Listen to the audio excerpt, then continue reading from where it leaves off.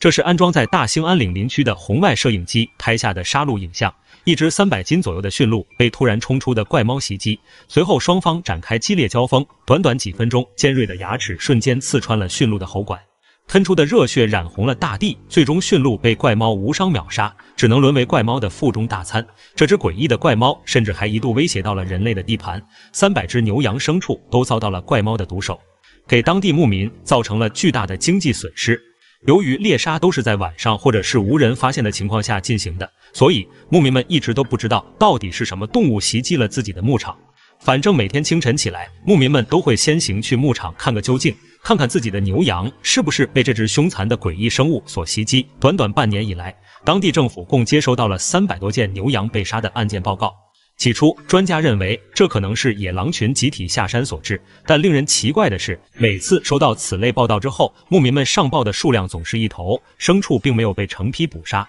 这种情况显然并不符合野狼群下山狩猎的特性，因为野狼下山狩猎时，基本都是成群结队，以族群为基数入侵人类的地盘，而每次将目标锁定为牲畜牛羊之后。总是会不遗余力，尽可能多的杀死猎物，在吃饱喝足后，再叼着多余的肉返回深山，这是野狼的正常习性。可既然这只凶残猎物不是野狼，难道是大名鼎鼎的东北豹？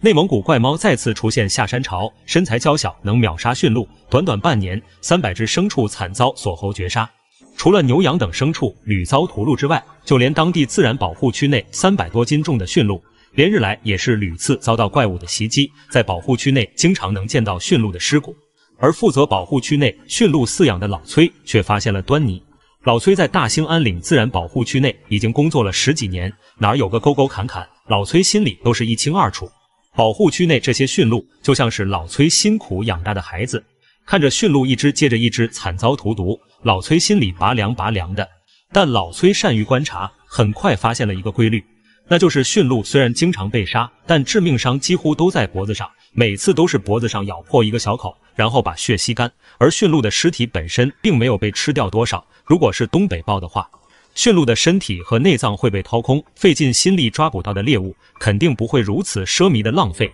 就连东北的熊瞎子也不可能把日子过得这样大手大脚。既然不是野狼，也不是东北豹和熊瞎子，那又是什么生物能杀死这么大的一只驯鹿呢？一天傍晚，老崔照常进入保护去巡山，远远的发现了一只尖耳短尾怪猫正在袭击自己的驯鹿。身材比家猫大不了多少，可尾巴却出奇的短，就像是被故意剪短尾巴的柯基一样。但因为距离太远，老崔实在是看不清这到底是何方猛兽。内蒙古怪猫频频下山入侵，身材娇小，能秒杀驯鹿，三百多只牲畜惨遭锁喉。老崔当时虽然距离怪猫袭击驯鹿的现场较远。但在怪猫酒足饭饱之后，带着手机拍下了怪物的脚印。脚印与猫咪的脚印形状相似，但要略大一圈。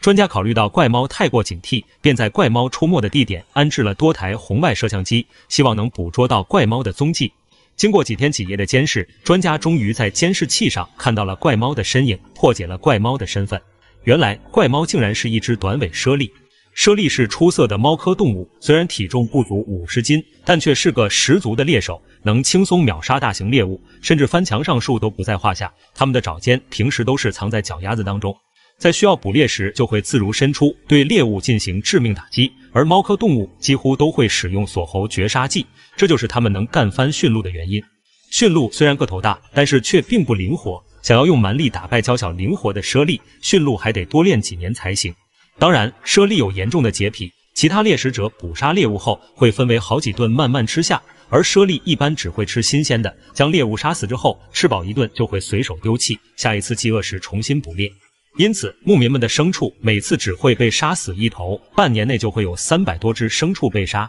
这种傲人战绩，除了猞猁，没有其他任何一种生物能干得出来。